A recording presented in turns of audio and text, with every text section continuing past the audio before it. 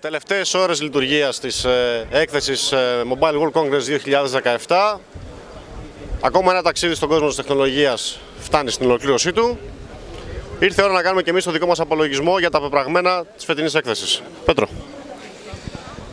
Η φετινή έκθεση μας εντυπωσίασε ε, πλήρως. Ε, είχε όλα εκείνα τα χαρακτηριστικά που ε, ε, θα μπορούσε να δει ε, ο λάτρης της mobile τεχνολογίας και όχι μόνο.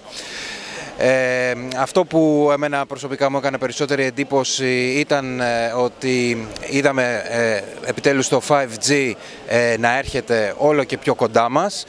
Ε, όπως επίσης αυτό που παρατήρησα ήταν και το μεγάλο άνοιγμα που φαίνεται ότι κάνουν πάρα πολλές κινέζικες εταιρείες. Ε, η έκθεση ήταν γεμάτη από Made in China εταιρείες οι οποίες ε, θέλουν και αυτές να κάνουν το δικό τους άνοιγμα και να διεκδικήσουν ένα μερίδιο της πίτας από την ευρωπαϊκή αγορά. Δημήτρη, απουσία σημαντικό να ανακοινώσουμε στη φετινή έκθεση από μεγάλα brands, ωστόσο δεν έχασε το ενδιαφέρον της.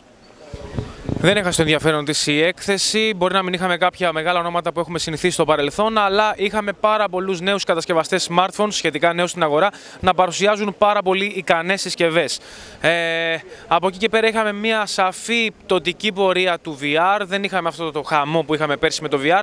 Υπήρχαν σε πολλά booths ε, VR εγκαταστάσεις και μάλιστα τράβηξαν και κόσμο, αλλά προσγειώθηκε λίγο η κατάσταση αυτή. Σίγουρα το VR και το AR έχουν πάρα πολλά να μας προσφέρουν στα χρόνια που θα έρθουν, αλλά ε, χρειάζονται και αυτά να οριμάσουν. Από εκεί και πέρα είδαμε ε, δύο πολύ σημαντικές επιστροφές εντός εισαγωγικών, μία της ε, Nokia και μία της BlackBerry από πλευράς ε, τέτοιων συσκευών. Και ε, να πούμε επίσης ότι σιγά σιγά βλέπουμε να παίρνει σάργα και οστά το όραμα του 5G, του IoT, των έξυπνων πόλεων, ε, των connected cars, πάρα πολλά αυτοκίνητα φέτος εδώ στη Βαρκελόνη, ε, σε σημείο που ε, προβλέπουμε σύντομα να χρειάζονται το δικό τους χώρο. Ήταν ε, αρκετά μεγάλο αυτό το, αυτή η τάση, ήταν αρκετά μεγάλη αυτή η τάση. Αντρέα, Κλείνοντας και για να συμπληρώσω και αυτό που είπαν τα παιδιά, ε, όντως φέτος το 5G ήταν κάτι μοναδικό. Είμαστε πολύ πιο κοντά από άλλες φορές στο μηδενικό latency και μας ε, επέτρεψε αυτό να δούμε εφαρμογές που έχουν ήδη υλοποιηθεί σε πάρα πολλές ε, χώρες ανά τον κόσμο και όχι να περιοριστούμε σε, σε απλά demo όπως βλέπαμε τα προηγούμενα 2 και 3 χρόνια στο MWC. Φτάνει λοιπόν στο τέλος, στο τέλος της ε, αυτή η αποστολή.